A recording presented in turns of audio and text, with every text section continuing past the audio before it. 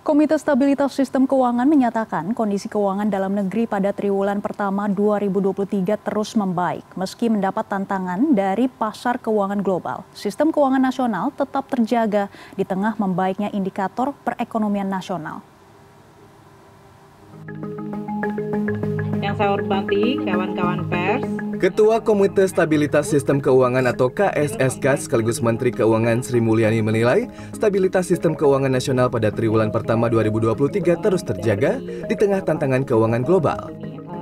Perkembangan positif ini ditopang pertumbuhan ekonomi nasional 5,03 persen pada triwulan pertama, ekspor yang tumbuh tinggi, konsumsi swasta dan pemerintah yang meningkat, serta pertumbuhan investasi.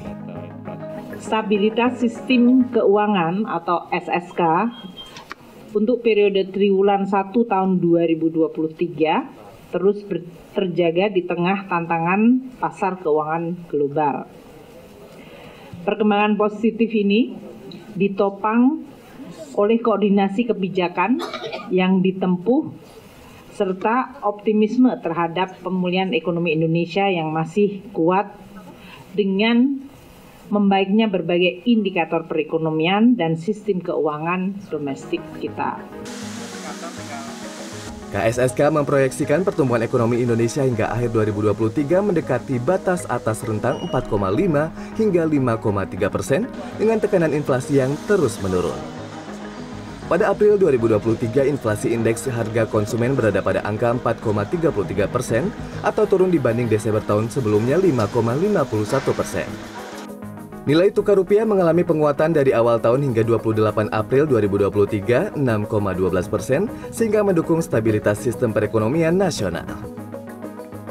Untuk menjaga stabilitas rupiah, khususnya dari kenaikan suku bunga Fed Fund dan juga ketidakpastian pasar keuangan global, Bank Indonesia terus memperkuat kebijakan stabilisasi nilai tukar rupiah melalui tetap berada di pasar untuk memastikan bekerjanya mekanisme pasar dan juga eh, nilai tukar rupiah tetap stabil. Demikian juga melalui juga perluasan penerapan pengelolaan devisa hasil ekspor melalui implementasi term deposit falas devisa hasil ekspor sesuai dengan mekanisme pasar dan juga terus menambah kecukupan cadangan devisa. Selain itu, KSSK mencatat pertumbuhan sektor jasa keuangan tetap terjaga. Pertumbuhan kredit tercatat 9,93 persen pada Maret 2023 dan dana pihak ketiga tumbuh 7 persen. Agung Happy, Maranata, Jakarta.